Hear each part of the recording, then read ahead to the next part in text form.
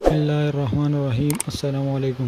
آپ YouTube channel دیکھ رہے ہیں، میں عبدالحلیم ہوں۔ کل سعودی گاگا نے جو سعودیہ کا سیو ایلیویشن اتھارٹی ہے، انہوں نے آیاتا کے ساتھ ایگریمنٹ کیا ہے، جس کے تحت توکلنا کے ڈیٹا کو آیاتا کے ساتھ منسلک کیا جائے گا۔ اب سوال یہ پیدا ہوتا ہے کہ آیاتا ہے کیا چیز اور اس سے ہمیں کیا فائدہ ہوگا۔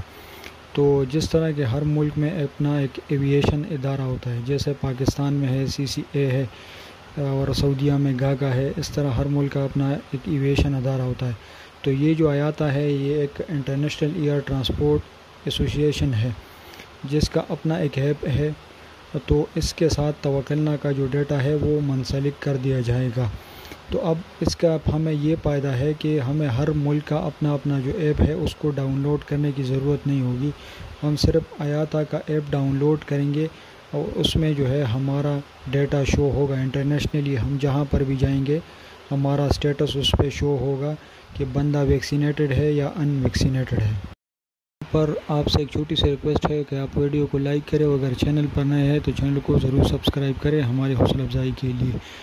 تو اب بات کرتے ہیں دوبارہ اس پہ کہ اس سے اور کیا فائدہ ہوگا۔ تو اس سے ایک یہ فائدہ ہو جائے گا کہ توکلنا جو کہ پاکستان میں کام نہیں کر رہا ہے، پاکستان میں کام شروع کر دے گا اس آیاتا کی وجہ سے، کیونکہ آیاتا ایک انٹرنیشنل پلیٹ فارم ہے۔ تو اس کی وجہ سے توکلنا جو ہے پاکستان میں کام شروع کر دے گا۔ کیونکہ توکلنا جو ہے ابھی صرف پچہتر ممالک میں کام کر رہا ہے، جس میں پاکستان شامل نہیں ہے۔ تو اس کے بعد جو ہے توکلنا پاکستان میں بھی کام شروع کر دے گا۔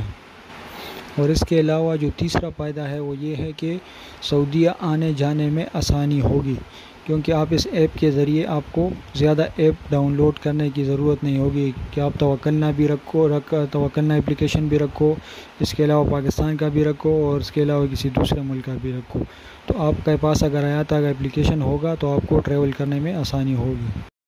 کہ اب جب تک کرونا موجود ہے تو دنیا جو ہے ڈیجیٹلائزیشن کی طرف بڑھ رہی ہے اور روز بروز نئی باتیں سامنے آتی ہے۔